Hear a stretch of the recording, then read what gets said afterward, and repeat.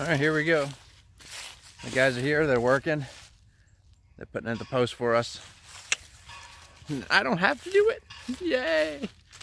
But yeah, they started out this morning. Dug all these holes by hand. I'd still be working on the first hole if I was digging it by hand. But you can hear them whacking away. Alrighty, here we are. You can see the fence is going along that way. And then if I spin around this way, back up towards the house. I think I did a pretty darn good job of uh, leveling this out for the guys. You know, we could have probably put the, this fence up ourselves, but it would have taken me a month or so probably to dig all these holes.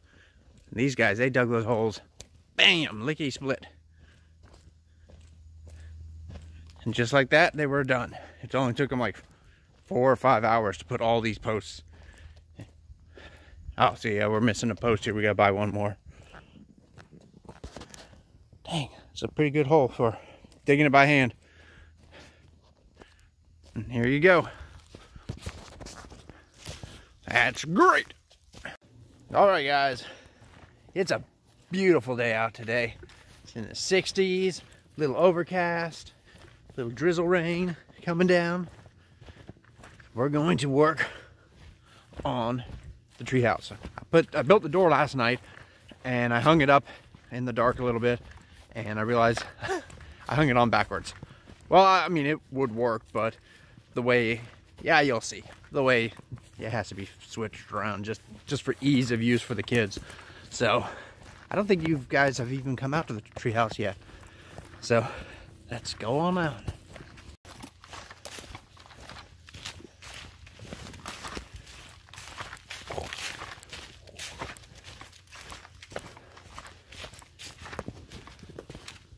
Ta-da! There she is.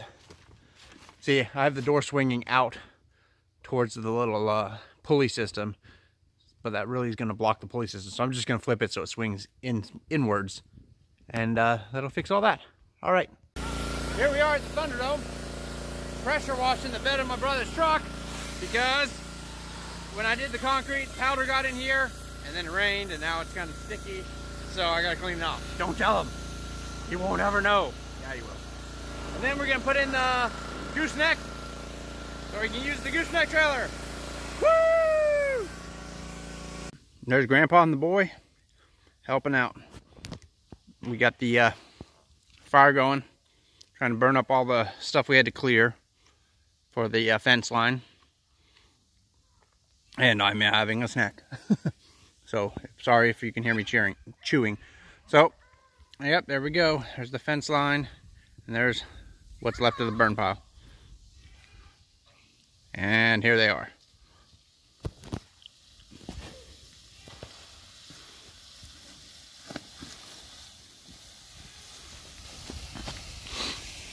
All right, guys, look at that.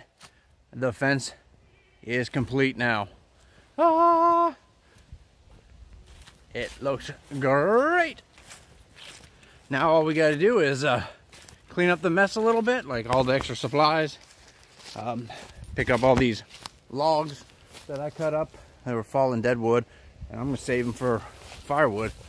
Um, I thought about using posts for my uh, little garden instead buying posts, but they're not pressure treated, so it probably wouldn't do very good. Um, there's all the sticks we burned. Oh. And let me flip the camera around this way. Look at that. For, uh, whoop, over my head. Straight fence, boink, boink. Well, not straight, but look at that. Look how straight the thing is. Woo! It goes boop, boop, kicks over. Because we didn't want to shut down, chop down these big trees right here. If we would have come straight from that corner to that corner up there, we'd have cut this tree down in. That's a, uh, that's a sweet gum. We could have cut it down. Oh, well, whatever. We got a little bit more space here. And, uh, yep. Now we just got to pick up everything that could hurt the goats. Like these, uh, flags, flag markers. And, uh, get, get on, get on. All right. So, you think it's done? But it's not. You still got more work to do. All right, we go get the truck.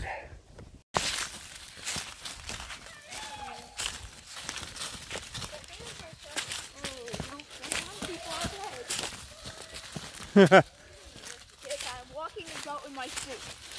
On, no, no. She's like, look, stuff to eat. No, come on. Go, go. Sasha, you can. I'm fighting them all the way. Okay, goat or dog's back. Sa- Stop, Winston. Oh, come on in. Winston. Winston, no. Nope. Release the goats. They're like, uh, what do we do? Well, we're gonna eat the closest thing to us. Yay!